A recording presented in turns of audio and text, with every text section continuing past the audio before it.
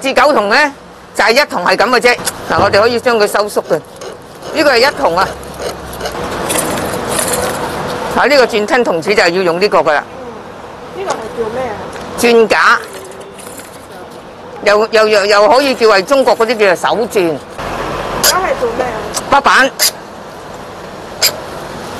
各式花色，十八般武艺信手拈来，刻刀舞动，白蟹翻飞，短短数十秒，一支支精巧的麻将就凌空出世。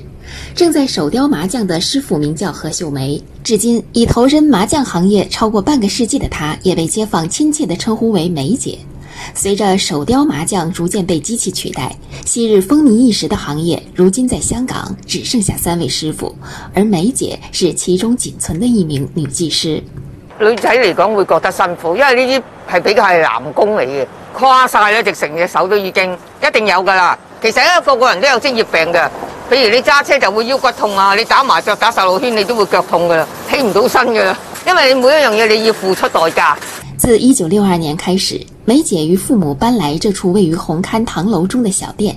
她十三歲開始入行學藝，此後的半個多世紀，她再未打過第二份工。店外白底红字的招牌不大，却格外显眼。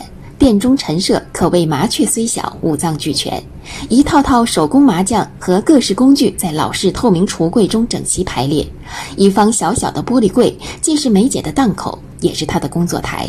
一系列工序都在这里进行。手工麻将的制作过程繁复考究，易学难精。不同花色的雕刻方法不同，使用的工具亦各不相同。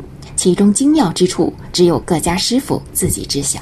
呢個做白板嘅，我哋我哋咁樣拉嘅。呢個圓規係做一筒嘅，好似一個圓規咁。呢個索刮，佢中間有條坑嘅，係我哋我嚟拉索子，做一個彈墨，我哋跟住個墨去做嘅，就係呢個叫做索刮。呢個就係挑黑刀，我哋每一日百分之八十都要有呢把嘢嘅配套，我哋呢三樣嘢。仲有一個最嚴重嘅就係呢個筒子啊！呢個筒子係筒子轉，我哋每一日要即係轉筒子就要用呢啲啦。從雕刻、壓印紋路到上色、修補、烘乾，即使資深師傅馬不停蹄，完成一副一百四十四張牌的全套手工麻將，也需要足足花上四天時間。耗時不說，投入的精力也堪比機器輔助的幾十倍不止。因而，手工麻将价高不易得，这一行业也日渐式微。作为末代师傅，梅姐对此深感惋惜，却也无可奈何。手工麻雀呢啲都系我哋中国嘅国粹嚟嘅，佢哋可以娱乐，又可以减退嗰個腦退化症，令到嗰个人精灵啲、醒目一啲。八零年打后已经全部系机器做噶啦，所以我哋而家嘅生存空间系好窄噶啦，因为有咗啲手机啊嗰啲，所以我哋就变咗。啲小朋友啊，或者啲老人家，佢哋而家又玩少咗啦。但係有啲中意嘅懷舊嘅，都一樣玩翻我哋呢啲嘅。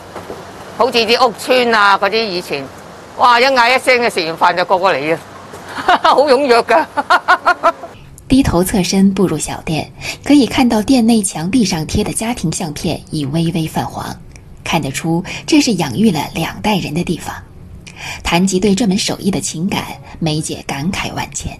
懷緬咯，佢哋即係而家我爹哋媽咪佢都係養大我哋，都係靠呢行啫嘛。咁有好多嘅私益嘅，即係由細到大帶帶住一家六口咁樣，中意又又有啦，私益又有啦，回憶又有啦，尋根又有啦，我都唔識得點講啦。如今的梅姐會在業餘時間參加一些文化工作坊，旨在將這門傳統的技藝與當下青年人分享。他说：“麻将体现了中国人的传统智慧，而手工麻将中渗透的执着与匠心，也是当下年轻人应该学习的。